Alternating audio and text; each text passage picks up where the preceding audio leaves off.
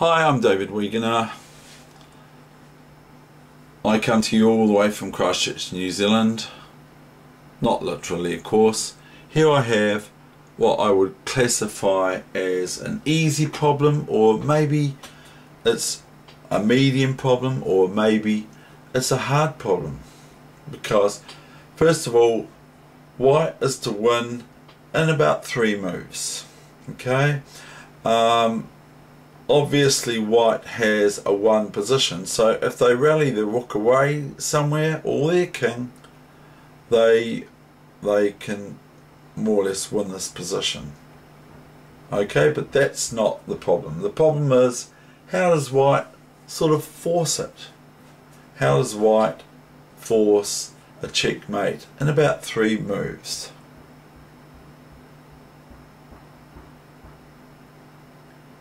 or maybe even four moves. It might be four moves. So how does white achieve checkmate here from this position? Now I've shown a strong FIDE master from New Zealand this position and he said or so said to me well it's a won position for white isn't it let's face it yes correct but the idea of this position is that it's a problem and one needs to look at it in that um, light. So, if white would play rook here, it's stalemate, because that will not do, will it? So, white, if they want a stalemate, can play that move, and it's stalemate. But that's not the answer to the problem. Now, also, if white moves their rook here, okay, it's stalemate too. So white has to be very, very careful not to just bang a move out and hope that it's okay or not. So, if we had a white squared bishop here, or here or here or here. And then blacks to move instead of white. Then g3 is the only move for black here because all the other moves these pawns are impossible to move. And this king is impossible to move because it can't go near my king or or white's king. And it can't go near the rook either. The rook's along that line so if there was a bishop here or here or here or here or queen here or here or here or here or knight here is checkmate or knight here is checkmate and else it's um, almost stalemate. But if there was a bishop here or here or here then g3 white would have um, basically hg3 checkmate because the king would not be which is check and checkmate the king would not be able to move here and it's check so the king has to react or we have to react to the check.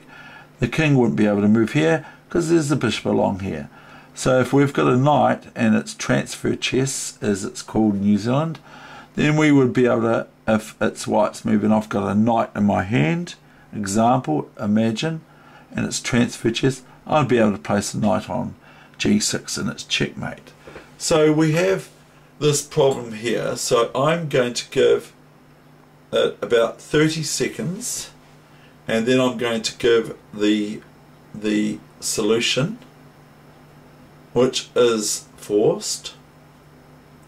And then after that or before that you might like to pause or freeze your PC computer or whatever or your tablet or phone blah blah blah to have a look at this later on or now today. So I do um, really want to say I'm really really impressed with the crowd of juniors that I met from the school pupil teams championships in New Zealand that they played uh, in my books they're all champions they're, they're just absolutely brilliant I met some really really great kids on sun, uh, Saturday not Sunday didn't go for um, my aforementioned reasons. So anyway, I am now going to be quiet for a few minutes. I mean, not a few minutes, about 20 seconds or so. And then after that, I'm going to show you the, the moves for white here to deliver checkmate in uh, four moves.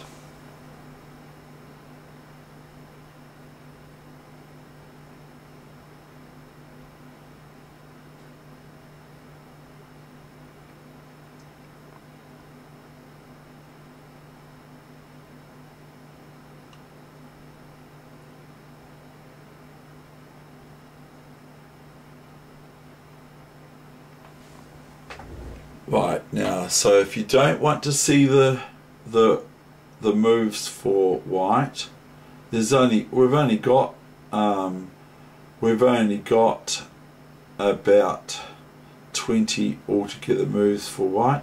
White could play h3, um, pawn h3, could play king back. If king back, then we got pawn to g3, only move, and HG3 or something like that. That might be the move, but it isn't. So here we come. Sorry about the um, ramble a little bit, but that's just the way it is. Um, so here we come with the result and the fine way that white wins here. And like I said already aforementioned, black is obviously in a lost position, but white has to still be careful so here we go.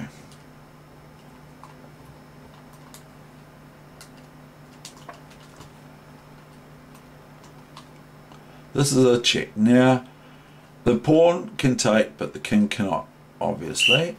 Okay? And so the king can't move anywhere other than king takes rook, but it can't do that because it's an ill equal move.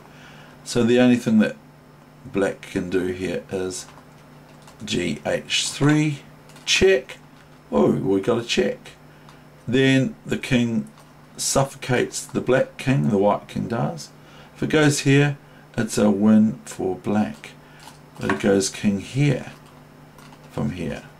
Goes king f3 this now forces black's hand to play the only move available which is g4 now I would like for you to find the next two moves for white which lead to checkmate.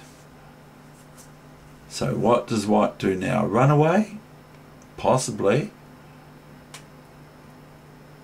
White plays king to f4 now. See, white has black in what is called the, by the German word Zugzwang. Z-U G Z W A N G Zwang, which is you cannot say in chess, I'll miss a turn, I'll miss a turn, unless it's certain games. You cannot miss a turn. You have to move. There's a compulsion to move, and and you're putting yourself in great danger once black plays g3 not king here because then white's going to be lost again. But checkmate. So isn't that nice? That's the compulsion to move in chess is called Zugzwang that's what I might title this easy plus um, problem for you today. I might title that. Now if the king wasn't here and it's somewhere here, then white would be met with H2 now. That's not the case. So that's quite a nice wee little problem.